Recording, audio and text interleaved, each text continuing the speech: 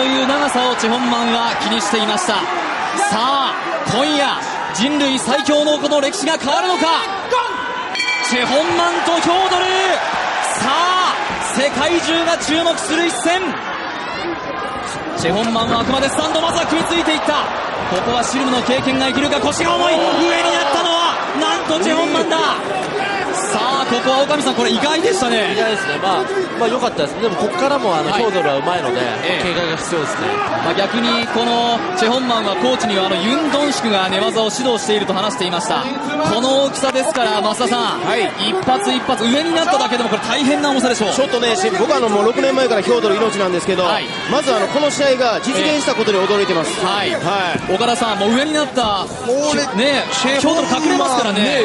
案外チェホンマン冷静というかはいこれがうまいんですさあよね十字に来た。来た腕を取っていく。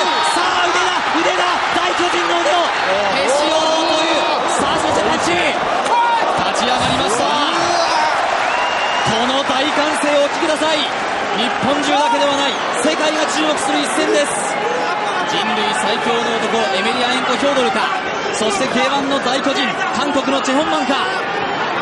さあ早くもヒョードルの顔に傷ができていますスタンド決着でということを戦前本マンも話していた。左当たったそして組みつきに行きます。しかし上になるいやー岡部さん倒すうまく倒せないですねやっぱこうさあまた上になったここからがあのヒョードルはうまいのでさっきみたいな警戒しなきゃいけないです。ねええまあ、自分には体格差、そういった知識がある、技術がある、そこを徹底的に練習してきたと話しています。